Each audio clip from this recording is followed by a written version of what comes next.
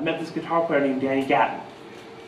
And uh, he kind of was the first guy to really take me under his wing. I was about 11. And Danny had this really cool thing about him where he would, um, you know, he had this real nonchalance about him. He was a very unassuming guy. He was like my guitar teacher, you know? So he listened to me play, he goes like, son, you know something about the blues, but you don't know anything about jazz. You don't know anything about early rock and roll. Like, you know, I'm talking about like Gene Vincent and the Blue Caps and, you know, the Big Bopper and Elvis Presley and stuff like that. So I'd sit in his Winnebago, you know, the nights that I would sit in with him, and uh, he's about to feedback.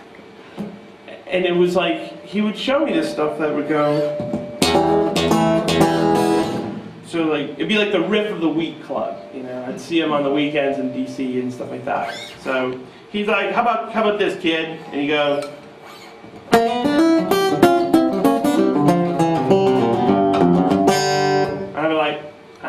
Back on my cassette tape and I'm like, wicked. I go home and I practice and practice and practice.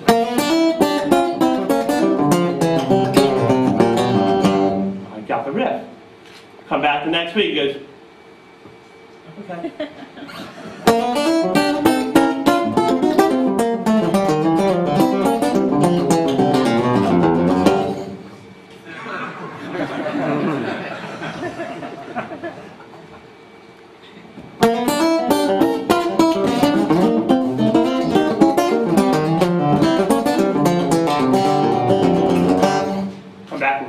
and same thing.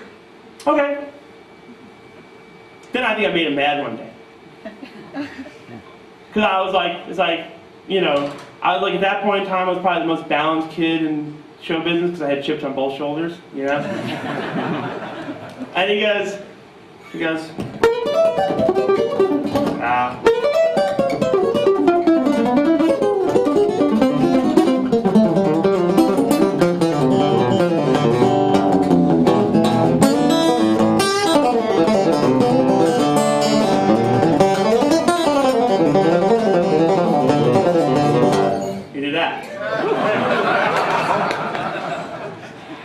and my, my double stops are bad. I've, I've literally nine shows in 11 days I wore my nails off, so I'm a little sloppy today. I don't charge for the mistakes. Um, so I was like, uh, I'm gonna do that. I worked and worked and worked and worked and worked and worked and worked and worked and worked, and I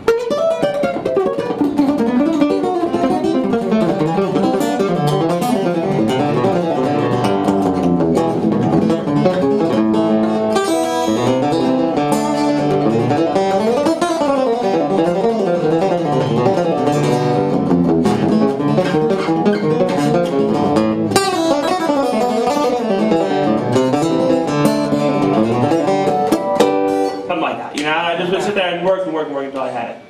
So that was my relationship with Danny Gatton. Then he would let me sit in with him at the place he was playing, and that was like my he was like my guitar teacher.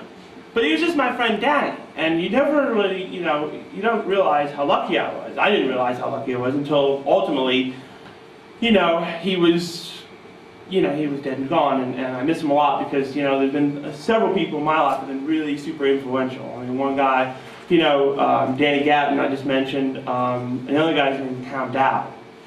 And uh, Tom, for those who don't know him, he was the, the, one of the founding members of Atlantic Records, produced everything from Otis Redding Blue to every Allman Brothers record to Disraeli Gears and all that kind of Layla. Layla. How do you feel?